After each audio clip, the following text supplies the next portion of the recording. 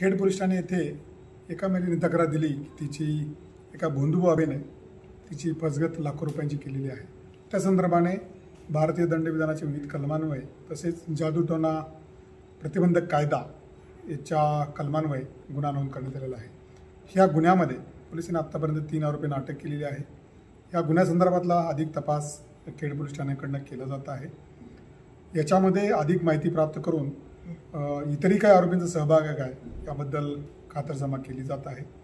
मी या निमित्तानं रत्नागिरी जिल्ह्यातल्या सर्व नागरिकांना आवाहन करू इच्छितो अशा प्रकारचे कुठल्याही प्रकारचे जादूटोना बुवाबाजी किंवा अशा प्रकारे जादूटोना मंत्र तंत्र अशा प्रकारचे जर प्रकार निदर्शनं येत असतील तर त्याची तात्काळ माहिती पोलिसांना द्यावी. जेणेकरून पोलीस त्याबद्दलची कायदेशीर कारवाई करतील आणि त्या संबंधित इसमांवरती दंडात्मक कारवाई करतील. धन्यवाद.